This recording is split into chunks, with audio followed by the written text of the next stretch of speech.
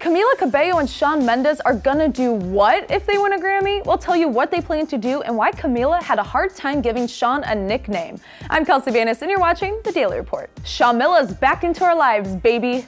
Where, oh where have our faves Camila Cabello and Shawn Mendes been? Well, back in December, we had Camila launch her new album, Romance, and Shawn finished up his world tour. Now, the two have been pretty silent on social media about one another, so it seems the two are laying low.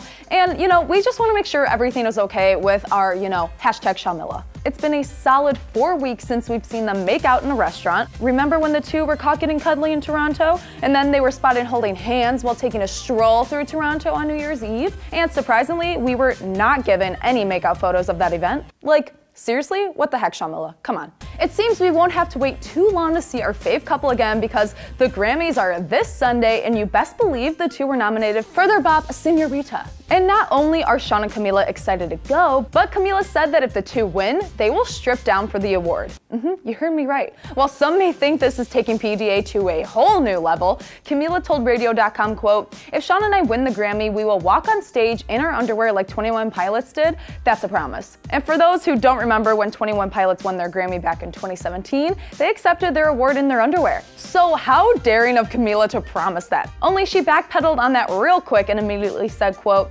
just kidding, it's not a promise. I gotta work out before I do that. So while she won't be stripping in public with Shawn, she did tell Radio.com how it feels to be nominated with her boyfriend. She confessed, quote, it feels really special to get to share that kind of experience with someone that is first and foremost my friend that I've known for such a long time.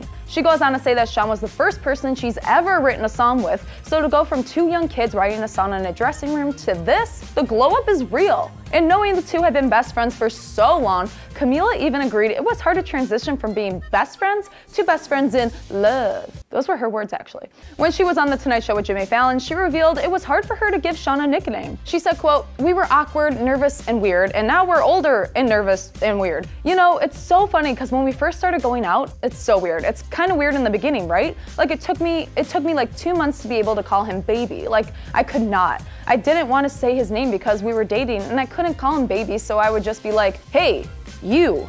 Well, honestly, whether it was hard for her to come up with baby or not, we just really want to see some more Shamil in her life, so hopefully we'll see them walking the red carpet together on Sunday, but we want to know what you think. Are you rooting for hashtag Shawmila at the Grammys? Let us know in the comments below, and as always, don't forget to subscribe to Awesomeness TV and the Awesomeness TV Daily Report channel. Oh, and make sure to follow us at Awesomeness TV on Instagram for more. I'm Kelsey Banis, and whew, Shawmila baby, Sunday's looking good.